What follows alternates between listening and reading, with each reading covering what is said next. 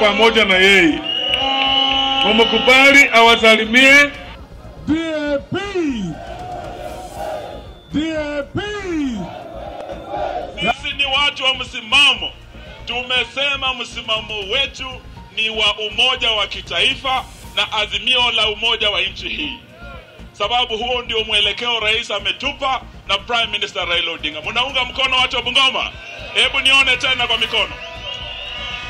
Nomination process ili wale wote wanatarajia kuingia kwa chama waje wakijua kuwa watapata haki katika hiki chama. tunafika hapa tangu tarehe kumi na nne tulipozindua hii chama mpya, mtoto mpya anaitwa DAP.